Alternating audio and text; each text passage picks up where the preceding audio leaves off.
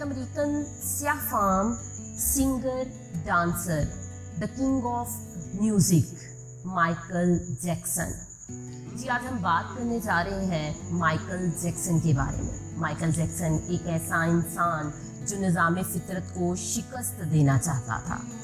उसे चार चीज़ों से सख्त नफरत थी। उसे अपने स्याह रंग से नफरत थी। वो गोरों की तरह दिखाई देना चाहता था। उसे गुमनामी से नफरत थी। वो दुनिया का मशहूर तरीन शख्स बनना चाहता था। उसे अपने माजी से नफरत थी। वो अपने माजी को अपने आप से खुरच कर अलग कर देना चाहता था।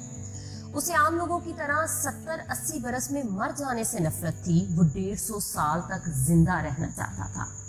वो एक ऐसा गुलकार बनना चाहता था जो 150 साल की उम्र में लाखों लोगों के सामने डांस करे। अपनी आ, अपना आखिरी गाना गाए।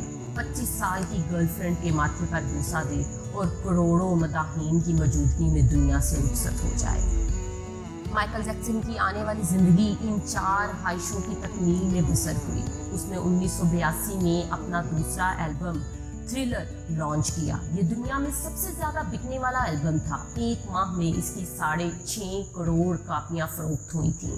ये Guinness book of world record का हिस्सा बन गया था। माइकल जैक्सन अब दुनिया का मशहूर तरीन गुलकार बन चुका था। उसने गुमनामी को शिकस्त दे दी थी। माइकल ने इसके बाद अपनी स्याह जिल्द को शिकस्त देने का फैसला किया और प्लास्टिक सर्जरी शुरू करा दी। अमेरिका और यूरोप के 55 चोटी के प्लास्टिक सर्जन की खिदमात हासिल की। यहाँ तक कि उन्नीस सौ सतासी तक माइकल जैक्सन की सारी शक्लों, सूरत, जिल्द नकूश और हरकतों सकनात तब्दील हो गई।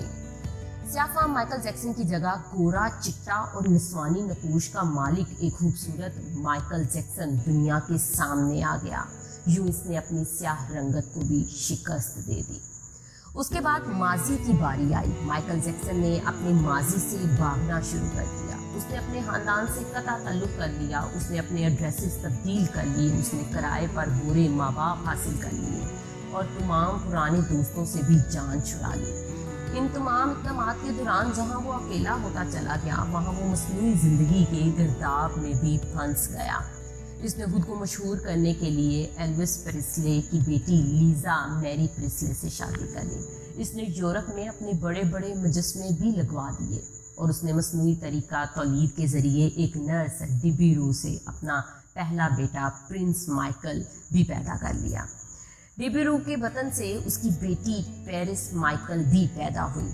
इसकी ये कोशिश भी कामयाब हो गई। उसने बड़ी हद तक अपने माजी से भी जान छुड़ा ली। लिहाजा अब इसकी आखिरी कोशिश की ख्वाहिश की बारी थी। वो डेढ़ सौ साल तक ज़िंदा रहना चाहता था। माइकल जैक्सन तब्दील उम्र पाने के लिए दिलचस्प हरकतें करता था। मसलन वो रात को ऑक्सीजन के टेंट में सोता था। वो जरासीम वायरस और बीमारियों के असरात से बचने के लिए दस्ताने पहन कर लोगों से हाथ मिलाता था। वो लोगों में जाने से पहले मुँह पर मास्क चढ़ा लेता था। वो महसूस खुराक खाता था और उसने मुश्किल तौर पर डॉक्टर मुलाजिम रखे हुए थे। ये डॉक्टर रोज़ाना उसके जिसम के एक एक हिस्से का मुआयना करते थे, उसकी खुराक का रोज़ाना लेबॉर्ट्री टेस्ट भी होता था, उसका स्टाफ उसे रोज़ाना वर्जिश भी करवाता था। उसने अपने लिए फालतू फेफड़ों, गुर्दों, आँखों, दिल और जिगर का बंदोबस्त भी कर रखा था। ये वो डोनर थे जिनके तमाम महाराजात माइकल उठा रहा था और वो इन डोनर्स से बवक्त ज़रूरत अपने अजाज से हत्या कर देना चाहते थे। चनाचे इसे यकीन था कि वो डेढ़ सौ साल तक ज़रूर ज़िंदा रहेगा। लेकिन फिर 25 जून की रात आई। उसे सांस लेने में दुश्वारी पेश आई। उसके डॉक्टर्स ने मुल्क भर के सीनियर डॉक्टर को उसकी रहायश पर जमा कर लिया ये डॉक्टर्स उसे मौत से बचाने के लिए कोशिश करते रहे, लेकिन नाकाम हो गए।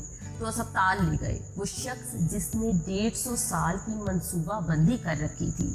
जो नंगे पाँव ज़मीन पर नहीं चलता था, जो किसी से हाथ मिलाने से पहले दस्ताने चढ़ा लेता था, जिसके घर में रोज़ाना जरासीम का शद्वियात छिड़की जाती थी। और जिसने 25 बरस तक कोई ऐसी चीज़ नहीं खाई थी जिससे डॉक्टरों ने इसे मना किया हो, वो शख्स सिर्फ़ 50 साल की उम्र में और सिर्फ़ 30 मिनट में इंतकाल कर गया।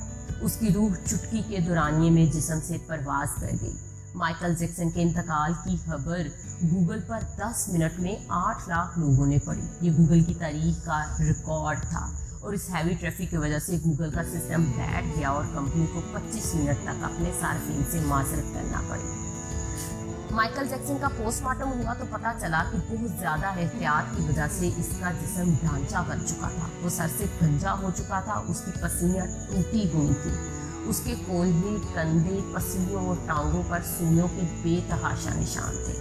वो प्लास्टिक सर्जरी की वजह से पेन किलर्स का मोहताज हो चुका था। चनाचे वो रोज़ाना दर्जनों इंजेक्शन लगवाता था। लेकिन ये इंजेक्शन ये एहतियात और ये डॉक्टर्स भी उसे मौत से नहीं बचा सके। और वो एक दिन चुपचाप इस जहान से चला गया और यूँ इसकी आखिरी ख्वाहिश पूरी ना हो सकी। माइकल जैक्सन की मौत एक ऐलान है। दोस्तों, इंसान पूरी दुनिया को फतह कर सकता है, लेकिन वो अपने मुकद्दर को शिकस्त नहीं दे सकता। वो मौत या इस मौत को लिखने वाले का मुकाबला नहीं कर सकता। चनाचा कोई रॉक स्टार हो या फिर वो दो मन मट्टी के बोझ से नहीं बच सकता। वो मौत को शिकस्त नहीं देख सकता, लेकिन हैरत ये है कि हम माइकल जैक्सन के इंजाम के बाद भी खुद को फौलाद का इंसान समझ रहे हैं। हमारा ख्याल है कि हम मौत को धोखा दे देंगे। हम डेढ़ सौ साल तक ज़रूर ज़िंदा रहेंगे। अल्लाह करीम हमें अमल की तोफ़ी बख्शे और अपने हिस्सों ईमान में रखे। आमीन। सुम आमीन।